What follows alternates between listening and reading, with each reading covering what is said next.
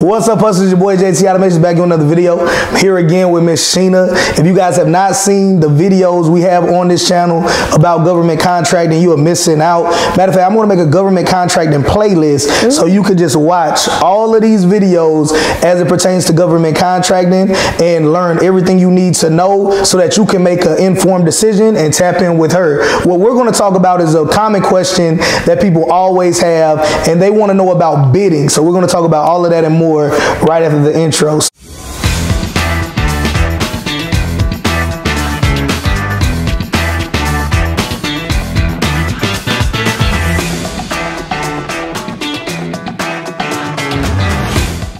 So thank you for coming back on the channel again, Miss Sheena. All right. So what is a bid? We gonna start super simple, oh, like as elementary as we can, because I want people to leave this video informed or leave this entire playlist informed. So when when somebody says, "Oh, if you want this government contract, you need to put a bid in," what are they saying in layman's terms to somebody that's not familiar with government contract? I would say think eBay. Um, okay. So eBay has a product. They have some shoes and you put in your bid essentially, but just pretend that the, the amount that you're putting in um, includes paperwork as well. And you're telling eBay, the person who's selling the shoes, hey, I want to get these shoes for $10. Okay. And then typically the person is going to go with what the highest bidder on, on eBay? On eBay. Yep. But the government's going to usually go with the lowest bidder. Okay. So it's, it's basically the same thing. You're putting in the paperwork saying, government, I want to uh, do this service or I want to uh, give you this product.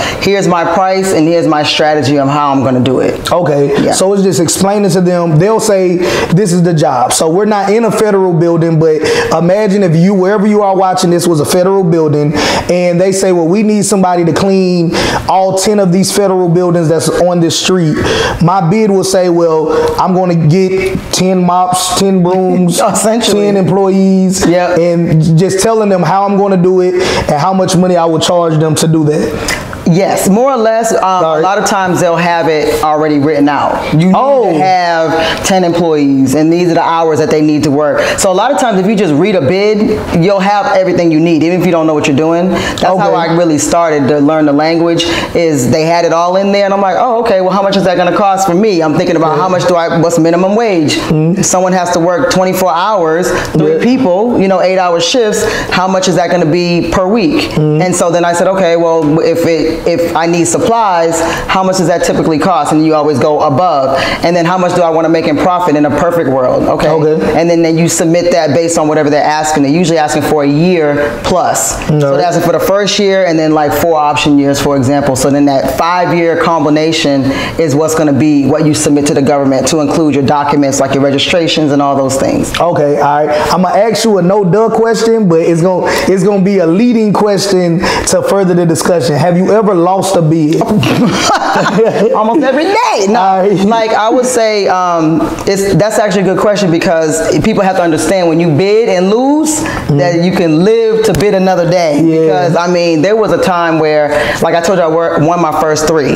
Okay. So I was like, this is a breeze. Like yeah. life is good. And then COVID happened, and I didn't win anything for nine months. And we oh. were bidding like two or three a week. Mm-hmm. So that does something to your psyche. Yeah. But then in January 2021, I won six in one week. Oh yeah. So you kind of like, how do you measure that? There's really no way to measure it. So you just got to continue to build relationships and continue to bid. I've lost many bids for random reasons, like doing a mm-hmm. double all nighter, doing this paperwork, and they canceled the whole bid and nobody got anything, and they sent me my oh. whole packet back unopened. Yeah. Now that does something to your psyche. Yeah. So. All right. Yeah. So and the encouraging thing for you all is to let you know, like she said, um, I know a lot of people that they they've heard about government contracting, but they don't know anything about it, or they they know of somebody that said, well, they tried it, but they put in one bid one time, didn't really know what they were doing, didn't get the bid, and immediately read it, uh, wrote it off as this ain't something that you can do. It's super hard to do. Uh, the government already know who they want to use, yeah. right? These are the kind of things that we tell ourselves uh, if you're like me and come from low income environments. So hopefully the value you get out of this playlist is that it is possible. So uh, she, like she said, as somebody that has successfully been in this business for years, uh, sometimes loses bids and she just continues to bid on. Uh, do you you mind sharing with us uh, what do you think is the reason why, or the most common reason why you lost bids early on? Um, bid too high. Okay. That was the biggest thing. Um, I had a contractor, like I said, coming from real estate, mm-hmm. a contractor who believed in, you know, charge your price, which yeah. is cool. I, I agree with charge your price, but for what we were bidding on, we didn't, we shouldn't have charged that price. Um, so what happens is when you bid on something and um, you get the results back, they show everyone's results. Oh. So we bid on one where it was, I think the price that one was twenty thousand, and I bid five 500,000. Oh. And that was like so embarrassing because yeah. they put all your information there. And so it's like. Oh, so they knew your company name and all, everything. Like, uh, what is she even know what she talk about. So it, it makes, um, that's one of the biggest things is knowing your pricing. And people okay. ask me daily, like, how do I know my price? It's, that's where knowing your industry makes a difference. You, it's really hard to get into an industry when you don't know anything about it and you mm-hmm. don't know the pricing, you don't know what makes sense, you don't know how to identify those gaps. Okay. So pricing pricing was really rough and reliable people. Because I'm talking about facilities, so I'm always mm-hmm. talking about laborers. So it, it, was it was rough with those two things. All right. So it, that goes to show you, because I know a lot of people when they think of government contracting, you think well the government print money. So I could tell them I'm gonna charge them a million dollars to sweep this floor, and they gonna just print a million dollars and give it to me to sweep the floor. If only. if only. Yeah. So so you have to still come at it as a business person uh. Sheena does have a full training program that we're going to get into here in a second that will help you uh, structure your business right and really get into bidding uh, in a way that is competitive for your niche, for your, your industry, whatever industry you so choose to get into. So you were saying the biggest thing is price in the in, uh, in personnel as well. All right. So I'm thinking about it as somebody that's completely new. I want to get into government contracting. So of course I'm gonna tap in with your training and learn all the stuff that I don't know. But when it comes to putting together a bid, you you also said that they'll pick somebody and then I guess they'll share everybody's bid with everybody that bid. So it's no do-overs. So they're not going to say um, nah, and then you can. And I say this because in previous videos, if you watched it, she has a real estate background. You guys know I invest in real estate as well. So you know you can make an offer on a house. They can do a counter bid. Right. So the government don't do no counters. They do. Oh, okay. Um, um, sometimes it's called best and final offer. And usually, a best and I have a really good example with this. Usually, a best and final offer that means that everybody bid too high, but they really need it done. So they're like, hey, you know, you can bid a little low. Basically, it's saying, can you bid a little lower? That's okay. what it is. There was one that I bid on where they were looking for best and final offer, but they actually sent everyone's pricing before it was awarded, which is like I've never seen that before or after that. So of course, most people are going to go below the lowest person, and yeah. so I didn't move my price. I'm like, knowing what I knew about that contract, it was like mowing or something. I didn't go down on my price, but they kind of did a do-over. And the mm-hmm. person who went under the lowest, original lowest bidder won. Mm-hmm. I thought that was kind of unfair. Uh, you know, it was it was a game yeah. to get you to go, low, go lower. Oh, I'm not a subject matter expert in everything, so when there are topics like this that I think can bring you a lot of value, I'm gonna bring the subject matter expert. So Sheena is the subject matter expert for government contracting.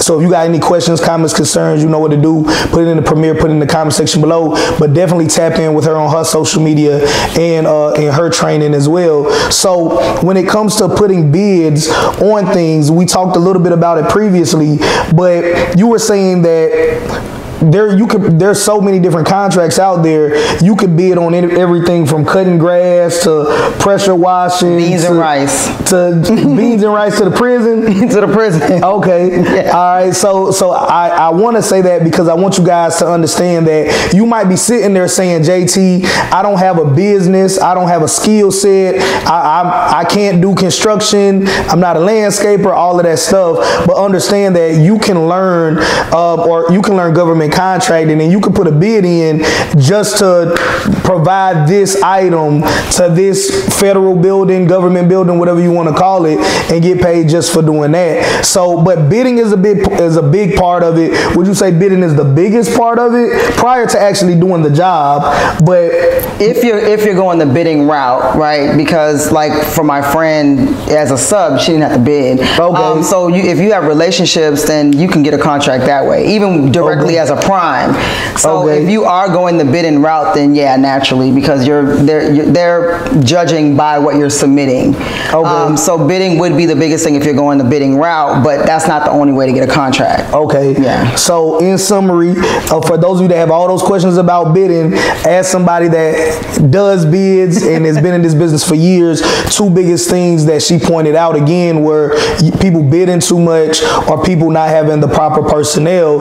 But if you have more questions and you want to know more about what is a bid, how to bid, hey Sheena, will you help me learn how should I bid on this service or procurement of this product? Definitely check out the links down the description below. She has a full training course. Will you end by telling the people what they'll learn in the training course? Yeah, so in my course, GovCon for Winners, I teach you how to be a three-tier contractor. I'm teaching you about federal, local, and corporate contracting. take you from cradle to wedding, and I also have stuff for my veterans. All right. So if you, that sounds interesting to you, which it should, because this is the biggest customer in the United States, right? Um, and last question that I just thought of too we're in Atlanta when we're when we're recording this, right? Um, let's say that I don't live in Atlanta because I don't. Ah. If I wanted a government contract in Atlanta, but I live in North Carolina, is that possible? Oh yeah. So can somebody win a contract in another state? I don't wait. I know you've been enjoying this video, or else you wouldn't have watched it this far. But that's the exact reason why I want to present to you a very special offer that I only want to give out to my top followers. If you're somebody out there that understands that real estate is a great way to create, grow, and store your wealth, however you think you either need a ton of money to get into it or you got to be super knowledgeable because it's super technical to do it without having any money, well, I have an ebook that I designed especially for you. If you're interested in knowing how to buy real estate for $1,000 or less with no wholesaling, and without taking on any debt. I'm going to teach you how to get paid just for trying. And if that interests you, Check out the first link down the description below. And now let's get back to this game. I have contracts in other states. Okay. Yeah, I guess the best thing to do is um, make sure you have a manager. It depends on what it is because there's some contracts where you just do it once a month, um, or it might be uh, IT where you don't need to be there at all, okay. unless you know they say, hey, you need to come here once a year to, to talk to people. Um, I know many friends that do staffing, and so they don't need to be anywhere. They have the staff there, and they mm -hmm. just mm-hmm. say, hey, I'm your new boss. Here's your paperwork. Have a nice day um, you definitely can do contracting anywhere as long as it makes sense to you. Now, mm-hmm. if you know you have to be there every other week and it's in Alaska, that may not be the contract for you, yeah. obviously. All right, so there you have it, you guys. More information about government contracting and bidding can be found in the description below. Till next time, talk my hustlers, stay hustling. JT Automations, I'm gone.